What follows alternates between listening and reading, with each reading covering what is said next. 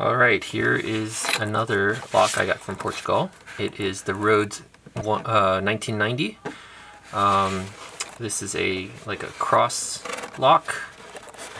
Looks a lot like the other, uh, like the 895 um, housing, but it's um, got a cross lock.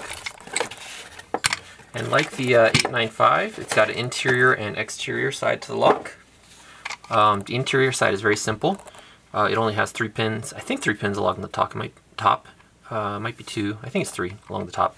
Whereas this side has, uh, you know, I don't know how many, but the key is cut for five on each side, so up to 20 pins in there. I'm pretty sure it's not that many.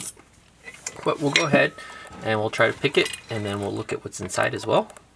I have not gutted it, so um, hopefully I'll be able to. But we'll see.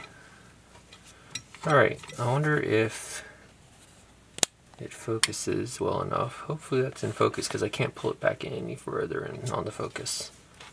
Um, so hopefully that's enough in focus. Looks like it's okay. I think it's okay. Um, for the interior side anyways. So, I'll go ahead and throw a tensioner in here. And, you know what? The key, right? So the key is not, uh, it's not, um, you can't put it in any other way except for the right way. So it only goes this way. Because it's kind of like a, a crucifix, not a plus sign, right? It's got a longer bottom on it. So we'll go ahead and put that in. And up top, this is a, I'm just using a Peterson hook one, doesn't matter. I should probably use a, the thicker thickness than this. But in any case, let's see what we got. We got a, oh, we got the, the tensioner sticking up too high and we got the whole lock turning in the vise. All right, um, what do I feel up here? Three is jiggling, two is clicking, three is now binding, and it's open. So I think that was two and three. Could have been one and two. I don't know. In any case, um, the lock itself, if you uh, let's see, if you turn it to the left, nothing happens. If you turn it to the right, the lock comes out there, the deadbolt, and again. And when you turn it to the left, nothing happens because from the inside, you can pull on this latch to pull in the, uh, the latch. I don't know what it's called. But from the other side, now here's the exterior side, um, we have, let's get that tighter you, you don't have a latch accessible here, right, so for the other side. So what you do is you use the key and uh, you pull the latch like that. And then of course, just like the other side, you could lock it up to two times. So you could lock it and you can lock it again, right? So that would require you to pick it twice and then a third time to um, pull that in. Of course, you could use a plug spinner to, to jump over each time so you don't have to pick it over and over. And you know what? I've only picked it one step so I don't know if it if the pins are not lined up so that it locks every 90 degrees or not, but if it does, then that's going to be a whole lot of times you have to pick it. So let's go ahead and uh, slap a tensioner in here and give it a go. Um, I don't know, I'll start up top. Let's see if anything's binding up here. How do I want to do this? Like this, maybe?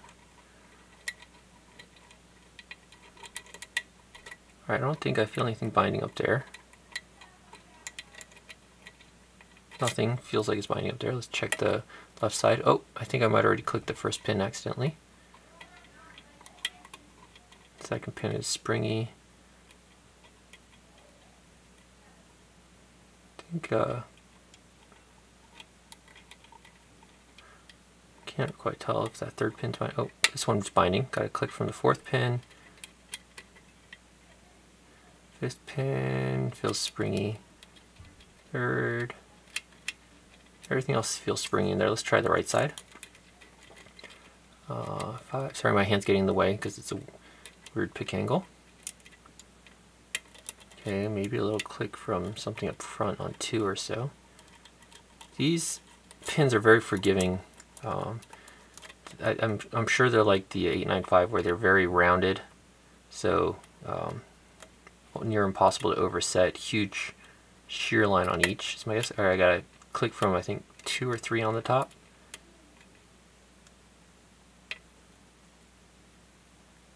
Another click. Uh, I think that I think the first one was two, and then the second one was three. So I got two more clicks up top. Let's check the left side again.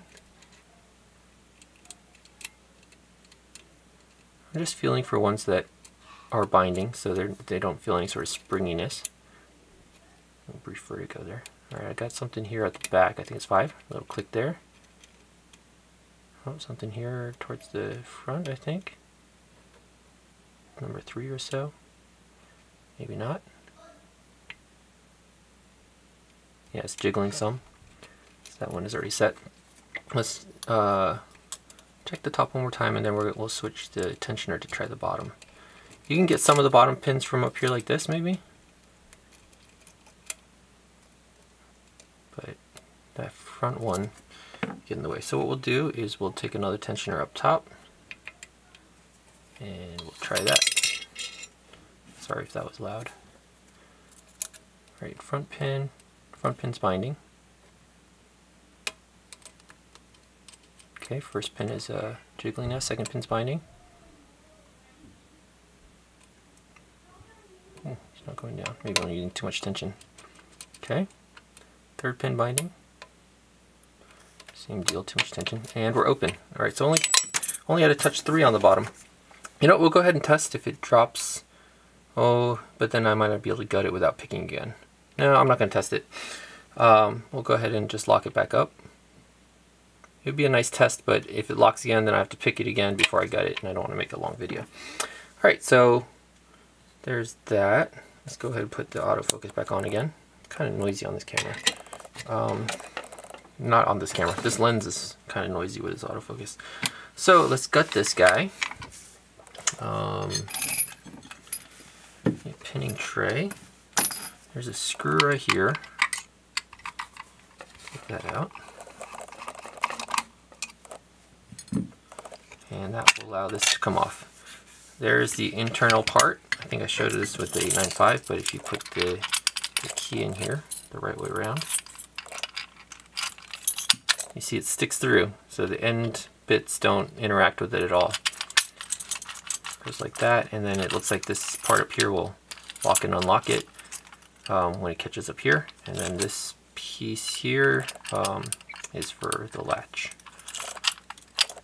And then, so that, that thing is not tall enough to hit that, but from the other side, you would hit that with the uh, exterior one. So, I don't care about that one right now. Let's bring this guy back in. Um, a couple more screws here to remove it from the, the plate there.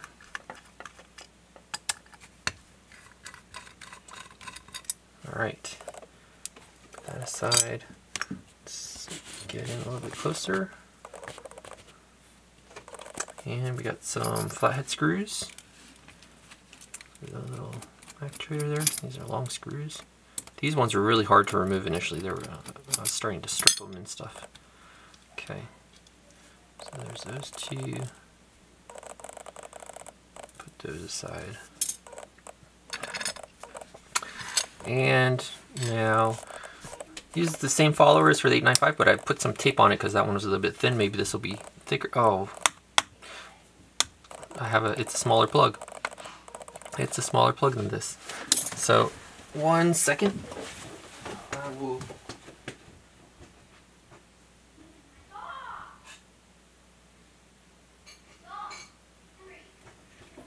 Sorry about that.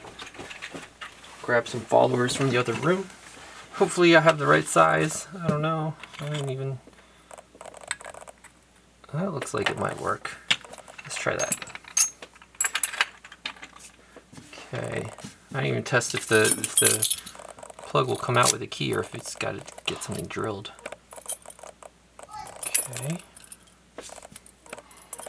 And I'll do it straight up and down. It's a little bit loose. Um, this one fatter. That's still a little loose. You know what? We'll grab, zoom out a little. Do is we'll grab some tape like this. Oof. And we'll wrap it around the end of the follower like this.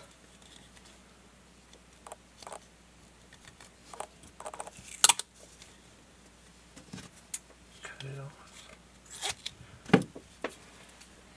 Alright, hopefully this will make it a little bit better. Got a little fold there.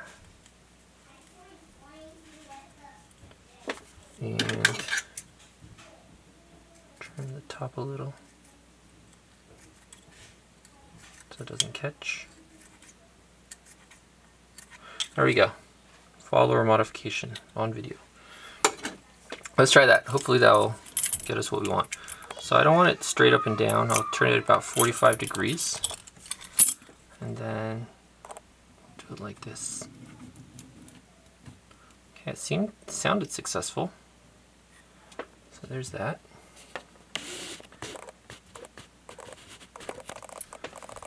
Roll this over a little. Okay. Um, I'll take the key out, hopefully without losing all the pins. Okay. How are we going to do this? Um, top is here, so the top has five pins right there. Um, hmm. I should have thought this through a bit better. All right, fifth pin on top.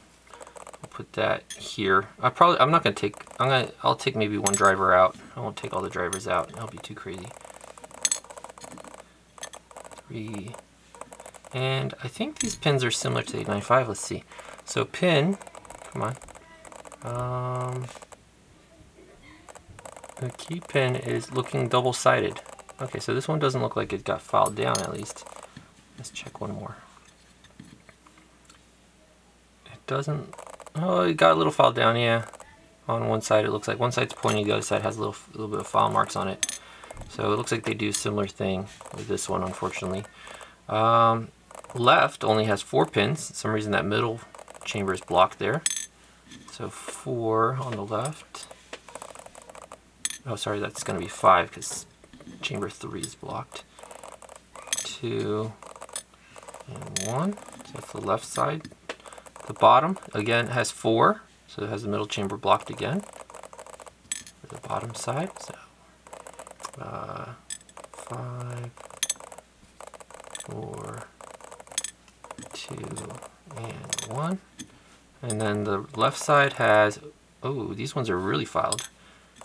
So five has five pins here. So this this this lock has a lot of pins. It's uh 18 pins in it, which is a lot of pins, but wasn't still wasn't bad to pick. Yeah, this looks so beat the way they do this. The filing. We'll look at um we'll look at one driver. Hopefully we can get one driver not four at once. They don't they don't seem to be staggered. So we'll have to get a little lucky. They don't seem to be staggered. This one might come first, the right side one. There we go, the right side one, got one. So the driver, like the 895, it's just a standard driver, but I don't know if you can see, it's really rounded on both sides. Like the taper, not the taper, but the bevel is huge, right? And what that does is it makes the shear line uh, really big because if you take one of these key pins and these two touch together like this, you can see that big gap between the two on the edge. That means that you can set the pin anywhere in that whole gap, anywhere in that whole gap, and it will open. Um, that's also expanded by whatever um, whatever gap you have between here and the and the cylinder, right? That between the plug and the, uh, the cylinder. If there's a gap there, that's also adding to the shear line. And especially because they're like filing these down to get the, the key pins the right height. Um, that means that this is a little bit flat. That means it's not flush with the uh, outside of the cylinder, which means it has a bigger shear line, which makes it a lot easier to pick. So any, any case, that is pretty cool lock, again from Portugal. It's the Rodes 1990.